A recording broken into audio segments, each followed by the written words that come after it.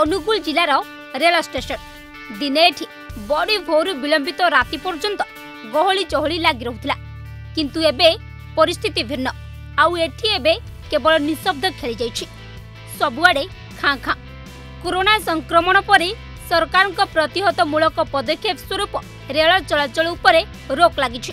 ଫଳରେ ଏଠି ଆଉ ରେଳଗାଡ଼ିର ଛୁକ୍ ଛୁକ୍ ଶବ୍ଦ ଶୁଭୁନି। କି ଆଉ ନାହିଁ ଏଠି କୋଳାହଳ। ଆଉ ଏହାରି ଭିତରେ ବିଶେଷ ଭାବେ ରେଳ ଯାତ୍ରୀଙ୍କ ଉପରେ ନିର୍ଭରଶୀଳ ବ୍ୟବସାୟୀଙ୍କ ଦୁଃଖ ଦୁର୍ଦ୍ଦଶା ବଢ଼ିଯାଇଛି।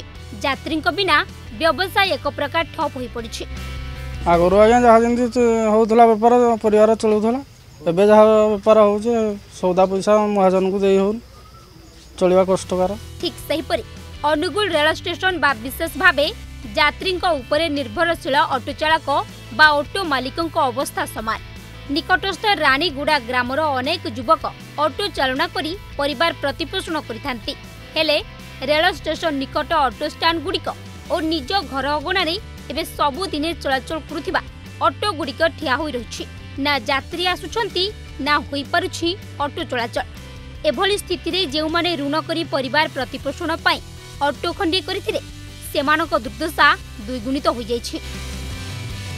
ଆଗ ଯେମିତି ବସଷ୍ଟାଣ୍ଡ ମାର୍କେଟ ହଉ ଯାହା ଯେମିତି ଚାରିଶହ ପାଞ୍ଚଶହ ଡେଲି ହେଉଥିଲା ଏଟା ଚଳୁଥିଲୁ। ଏବେ ତ ଟୋଟାଲି ଅଟୋ ଚାଲୁନି। ବହୁତ ଅସୁବିଧା ଚଳିବାକୁ ପଡ଼ୁଛି ଆଉ। ଖତ ଆଜ୍ଞା ଦୂର ହେବନି। ତା ଭିତରେ କିଛିଟା ଇନକମ୍ ଆସିଲେ ଚଳିବ ନା ମଣିଷ? ଫାଇନାନ୍ସ ବାଲା ଘନ ଘନ ଫୋନ୍ କରୁଛି ଉଁ, କିସ୍ତି ଦେବା ପାଇଁ।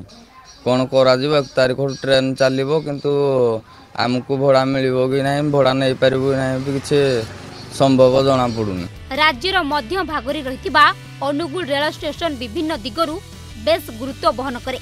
ଜିଲ୍ଲାରେ ଗଢ଼ି ଉଠିଥିବା ଶିଳ୍ପାୟନ ଏଥିରେ କାମ କରୁଥିବା ରାଜ୍ୟ ତଥା ରାଜ୍ୟ ବାହାରର ଲୋକଙ୍କ ସମେତ ଜିଲ୍ଲାବାସୀଙ୍କ ପାଇଁ ଅନୁଗୁଳ ରେଳ ଷ୍ଟେସନ ଏକ ଲାଇଫଲାଇନ୍ କହିଲେ ଅତ୍ୟୁକ୍ତି ହେବ ନାହିଁ।